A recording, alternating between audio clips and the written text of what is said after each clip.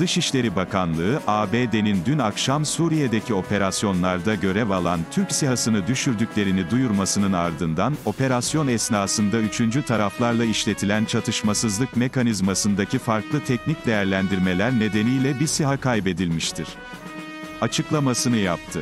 ABD, Türk Silahlı Kuvvetleri'nin Suriye'deki operasyonları sırasında bir SİHA'yı düşürdüğünü açıkladı. CHP Genel Başkanı Kemal Kılıçdaroğlu ise sert tepki gösterdi.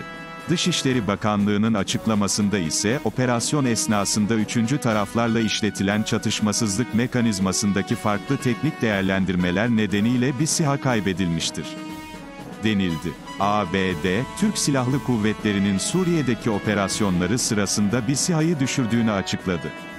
CHP Genel Başkanı Kemal Kılıçdaroğlu, Dışişleri Bakanlığı'nın açıklamasını eleştirerek ülkenin hakkının utangaç açıklamalarla savunulmayacağını söyledi.